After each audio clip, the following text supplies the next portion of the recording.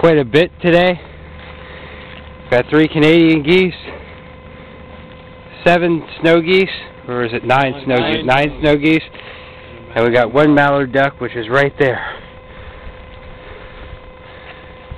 It's actually a little bit nicer now than it was. It's the blind we were in.